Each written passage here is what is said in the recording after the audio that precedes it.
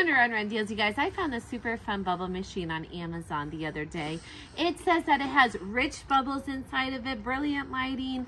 It is leak proof. It's going to be awesome. Remy, should we check what's inside of here? Let's look at this. Here are the wheels that it comes with.